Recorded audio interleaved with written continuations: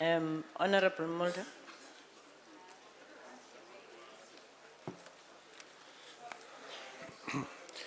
Honourable Deputy Speaker, Honourable Deputy President, and Honourable Speaker of Parliament.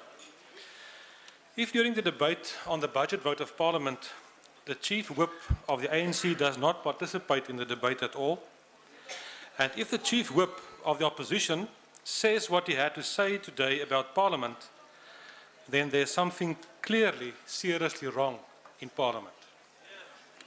Now, let's say for argument's sake that 50% of the things said by the chief whip of the opposition is not correct. Let's say for argument's sake. Then still something is seriously wrong. We cannot ignore this and Parliament will have to address this very, very urgently. Parliament does not belong to the ruling party or the majority. Parliament also does not belong to the opposition. Parliament belongs to all the people of South Africa, and all the voices of the people of South Africa should be heard in Parliament. Now, Honourable Deputy Speaker, both the Honourable Speaker as well as the acting Deputy Chief Whip of the ANC referred to the different court cases that Parliament and the Speaker were involved in during the last couple of months or year or so. I can assure you that no Member of Parliament or no opposition party for some or other reason, thinks it's a good idea just to go to court.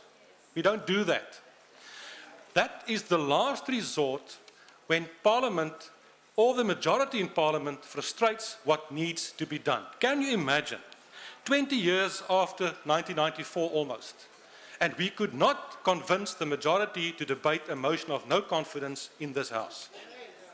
It's unthinkable. We had to go to the court to try and get some form of relief that that basic thing can be done.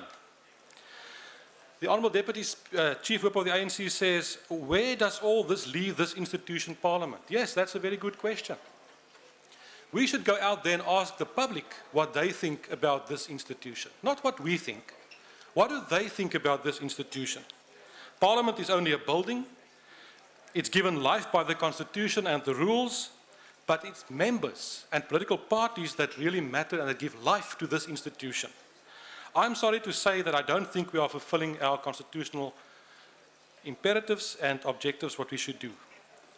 The Constitution clearly states in section 42.1 that Parliament represents the people, that's correct, to ensure government of the people under the Constitution, that's correct.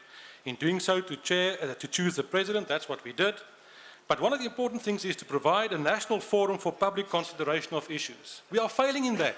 Yes, we've had one or two debates. But I said that last year and it still remains. On the program of Parliament will you find each and every day to be recognized internationally, the day for this and the day for that. But those things that matter to the people out there, we are not debating. It's an uphill battle all the time for opposition parties to try and get those things on the agenda, and then we find it strange that Parliament seems to be not all that relevant to the public out there. Honourable Deputy Speaker, Parliament should always understand the importance and the role that it should play, and we are not doing so. Ek wil spesifiek na een punt verwys en ek weet my tyd is verby. En ek wil nie vir algemeen rondom die Suid-Afrikaanse polisie diens nie. Parlement is veronderstel sekerlik to be a national key point. But go through some of the control and checkpoints where the African police services are in charge. Quite often, those persons will not even look up when somebody goes through because they're busy on their cell phones or they're reading newspapers. Now, with all due respect, there's a new head of security being appointed recently.